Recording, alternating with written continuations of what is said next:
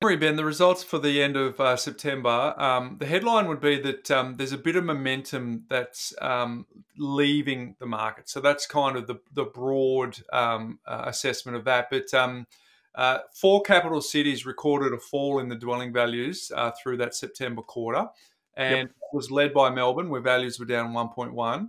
Uh, Canberra, Hobart, and Darwin also recorded declines in the quarter. But then you've got the the mid the mid cities, the mid tier cities of Perth, Adelaide, and Brisbane, because Perth was up 4.7, Adelaide was up 4%, and Brisbane, uh, although it uh, eased back a little bit, it was still up 2.7%. Uh, so, an overall nationally for the quarter at 1%, but you can see you've got some that are up, some that are down, and some that are sort of tracking. Interestingly, Sydney uh, at 0.5%, which would suggest that that particular market might it's it's currently at peak and might be starting to have a little bit of momentum running out of that one too.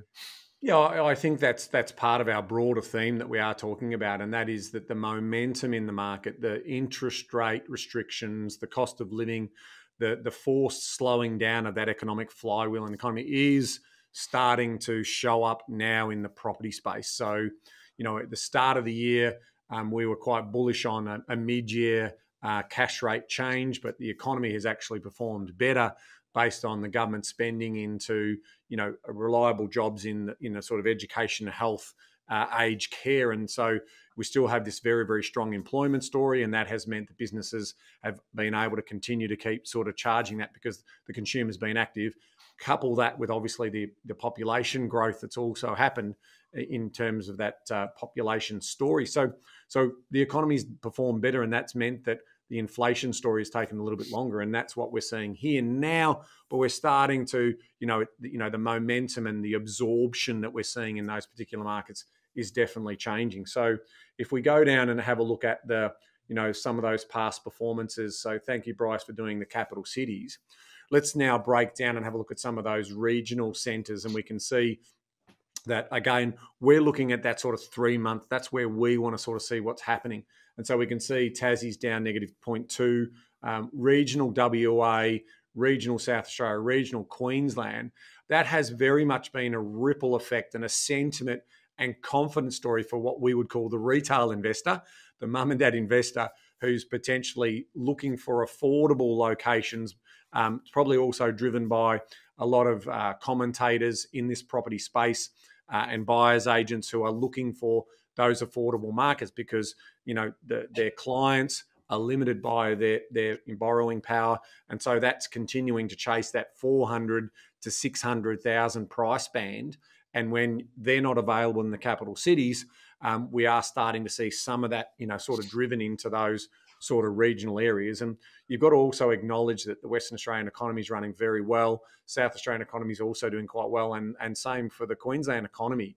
Um, you know, more broadly. Now, one thing that is happening in Queensland is there's more than likely to be a change of government. Um, certainly, that, that, you know the Labor government that's been in in in place for a long period of time has you know upset enough people now that they're looking for a fresh set of eyes and ears in terms of how they're going to look at their their broader economy. Then you can see regional Victoria is underperforming, uh, negative 1.4. Um, I suspect that you know we've talked about this as a combination of you know, a lot of people moved to the regions with the very, very strict lockdowns we had here in, in Melbourne. Um, and so that might be just people readjusting their situations um, in terms of what's happening in the regions. And you've got, you know, also silly decisions by government in terms of, you know, Airbnb and stays accommodation and all of that. So that's going to restrict potential people movement in terms of interest rate tourism and, and um, you know, sort of those types of things. So, so Victor- and the Victorian economy, we know that unemployment's growing here faster than anywhere else in the country. So that's that hasn't sort of sat well with that. And then you've got regional New South Wales, which is still scratching out um, some growth as well. So even though it's cooling, we're still seeing some of those markets uh, achieving growth, um, and that's also part of that affordability story as, as as we look at those particular stats, Bryce. And there's definitely a correlation too, isn't it? Because you see the, the, the biggest regional performers are also linked to the biggest capital city performers, and yeah. I guess the cautionary tale therefore uh, for investors is just to think sort of um, medium term around that too, because it wasn't that long ago that regional Victoria was very positive in terms of that growth. Very positive. have Melbourne going, and then you, so so it it it definitely is linked to the the big brother, the big sister of the of the bigger capital cities.